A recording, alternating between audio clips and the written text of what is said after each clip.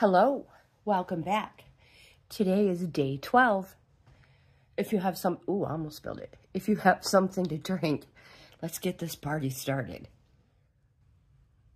Today we'll, we will be reviewing the Nine of Pentacles.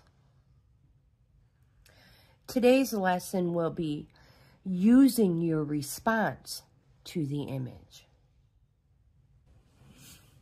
Day 12, Nine of Pentacles. Finding yourself kept inside a place of possessions. So our numerology is 77 and 5. Astrology is Venus in Virgo. And our quick connections. The world is wise to have provided me these challenges. Meditation. Security is a prison of your own making. Let's jump in. This card, the Nine of Pentacles, has always been seen as more like the kept woman card.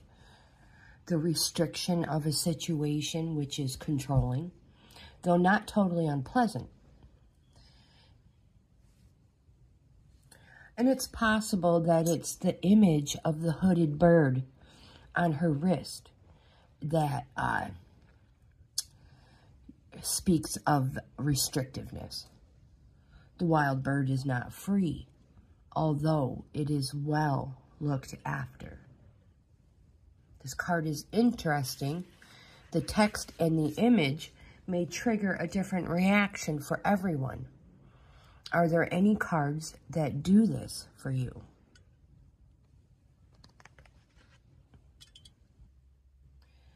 The Nine of Pentacles says, I want for nothing. I am content here within the gardens of bounty. I am secure in the safety of my haven. However, my security comes with a price, a lack of thrill and risk. Keywords for the Nine of Pentacles, my friends. Security, uh, weighed down, maybe bound by security. Captive, blessed, held to ransom, hostage, solitary enjoyment, completion, safety, accomplishment, prudence, retirement, and independence, and oh, so many more. To connect with the Nine of Pentacles, we need to meditate in the garden. Pick or buy some flowers, my friend, dress well.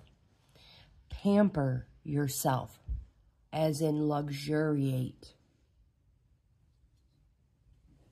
You are blocking the Nine of Pentacles today by one, downsizing, giving all your worldly possessions away, and going backpacking.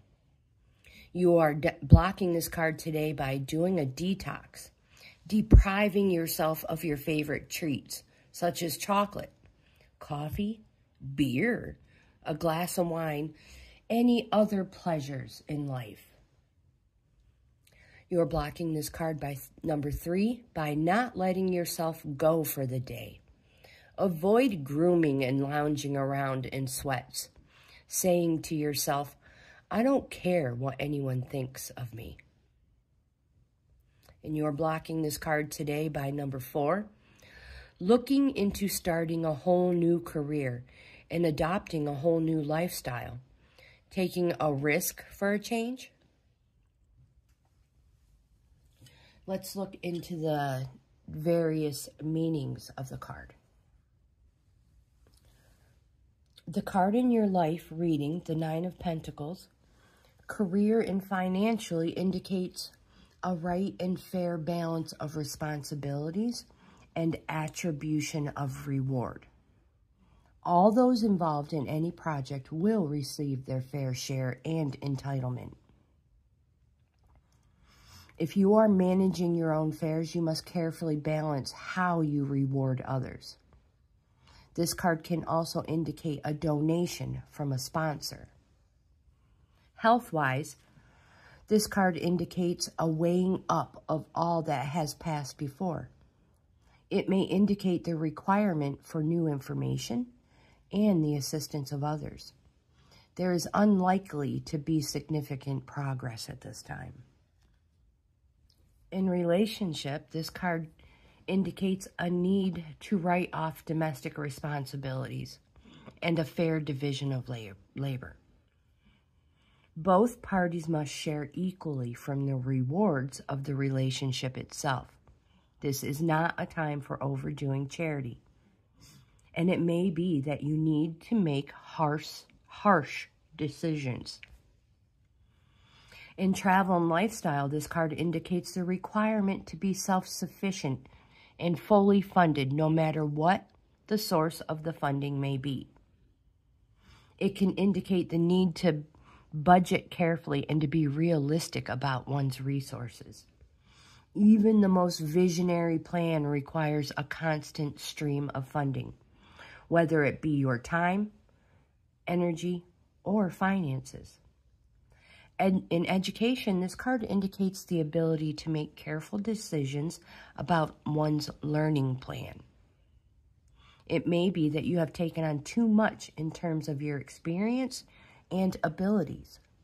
It is time to take a good hard look at what you can realistically accomplish. You may also have to consult others in order to gain insight from the outside.